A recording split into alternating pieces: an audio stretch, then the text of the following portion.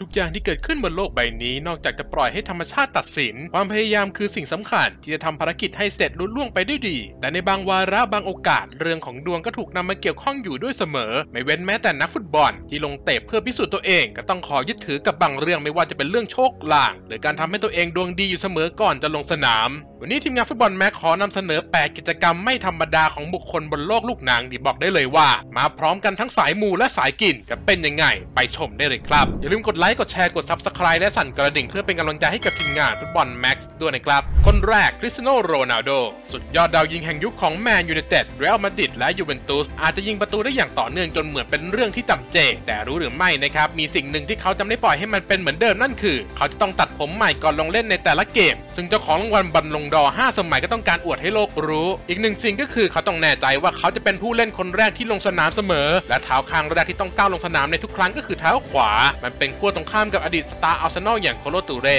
ซึ่งยืนกรานที่จะเป็นผู้เล่นคนสุดท้ายที่ก้าวออกสู่สนาม ซึ่งนั่นก็ทำให้เขาเกือบพลาดการเริ่มครึ่งหลังในศึกยูฟ่าแชมเปี้ยนส์ลีกมาแล้วเกมหนึ่ง คนที่ 2 โรมิโอ อันโกเนตานีความเชื่อที่ว่าถ้าโยนเกลือข้ามไหล่ซ้ายเป็นการขับไล่ปีศาจถือเป็นสัญญาณในความโชคดีที่มีมานานหลายศตวรรษ แต่โรมิโอ อันโกเนตานีนะครับประธานสโมสรปีซ่าน่าจะเป็นสายมูขั้นสุด โดยการเทเกลือลงไปในสนามก่อนทุกเกม และยิ่งเป็นเกมใหญ่มากขึ้นขนาดไหนปริมาณเกลือก็จะยิ่งมากขึ้นเท่านั้น จนถึงขั้นที่ครั้งหนึ่ง เคยเทเกลือน้ำหนักถึง 26 กิโลกรัมลงไปในสนาม ก่อนจะปะทะกับเชเซน่ามาแล้วคนที่ 3 โลรองต์ บลองก์ ปราการหลังผู้เป็นหัวใจสำคัญของทีมชาติฝรั่งเศสชุดคว้าแชมป์ฟุตบอลโลกในแผ่นดินของตัวเองเมื่อปี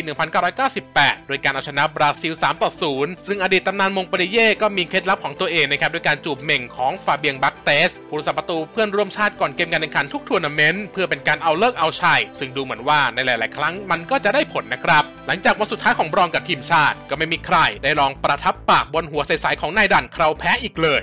คนที่ 4 เวนรูนี่ เจมี่วาร์ดี้อาจ enjoy กับเครื่องดื่ม Red Bull coffee ก่อนลงสนาม แต่นอกจากเขาแล้วก็ยังมีตำนานดาวยิงสูงสุดตลอดกาลของแมนเชสเตอร์ยูไนเต็ดที่เลือกทานอาหารในแบบฉบับของตัวเอง ถึงแม้อาหารหลักในพรีเมียร์ลีกจะประกอบไปด้วยอาหารโปรตีนสูง ไขมันต่ำ รวมถึงไก่และปลา แต่เด็กแข้งทีมชาติอังกฤษชอบทาน Coco Pops หนึ่งชามก่อนเกม โดยกุนซือดาร์บี้เคาน์ตี้คนปัจจุบันกล่าวกับ442ในปี 2010 ว่า ผมจะทาน Coco Pops ชามหนึ่งผมก็เป็นคนปกตินะครับที่ไม่ได้เดินอยู่ท่ามกลางดวงจันทร์และดวงดาว ผมมักจะทานซีเรียลก่อนเกม คนที่ 5 เจอเก้นคลอปกุนซือชาวเยอรมันได้รับการยกย่องจากแนวทางที่เขามีต่อธรรมเนียมเก่าแก่ของสโมสร ซึ่งรวมถึงการที่เขาแตะป้าย This is Anfield ก่อนเกมเหย้าทุกเกม แต่มันก็ไม่ได้เป็นเช่นนั้นเสมอไปนะครับคลอปเคยกล่าวไว้ว่าเขาจะไม่แตะต้องป้ายนี้จนกว่าเขาจะได้ชูถ้วยรายการใหญ่กับลิเวอร์พูลซึ่งสุดท้ายเขาก็ได้แตะป้ายไปแล้วหลายครั้งนะครับหลังจากคว้า2แชมป์ใน 2 ปี ทั้งยูฟ่าแชมเปี้ยนส์ลีกและพรีเมียร์ลีกโดยคลอปเคยกล่าวเอาไว้ว่า ผมเคยสัมผัสมันตอนที่อยู่กับดอร์ทมุนด์ผมเคยพาทีมมาเล่นที่แอนฟิลด์ในเกมกระชับมิตรและมันจบลงที่เราแพ้0ต่อ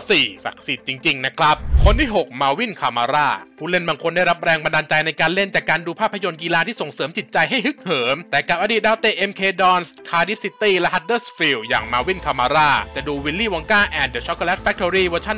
1971 ก่อนเกมทุกครั้ง คามาร่ากล่าวว่าเออผมต้องดูมันก่อนทุกเกมนะครับ มันทำให้ผมอยู่ในอารมณ์ที่ใช่ เป็นภาพยนตร์เรื่องโปรดของผมมาตั้งแต่ยังเล็ก มันช่วยคลายความเครียดและให้โชคกับผม คนที่ 7 แกรี่ลีนิเกอร์ พิธีกร Match of the Day ผ่านการทำประตูให้กับสโมสรและทีมชาติได้มากกว่า 300 ประตู ในช่วงเวลาที่เขาอยู่ในสนามช่วง preseason ลีนิเกอร์ไม่เคยพยายามที่จะหวดประตูตรงตาข่าย ในระหว่างเกมอุ่นเครื่องสำหรับการแข่งขัน โดยอ้างว่าเขาไม่ต้องการให้ประตูที่เขายิงไปนั้น เสียเปล่าและไร้ความหมาย ซึ่งประตูที่มีความหมายก็ช่วยให้ชีวิตของเขานั้นประสบความสำเร็จมากมาย จนเป็นดาวค้างฟ้าจนถึงทุกวันนี้